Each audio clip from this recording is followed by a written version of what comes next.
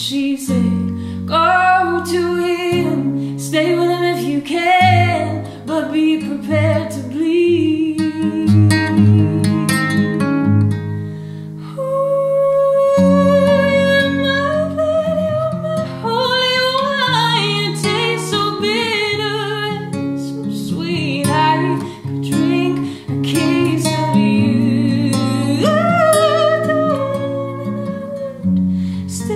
Feel my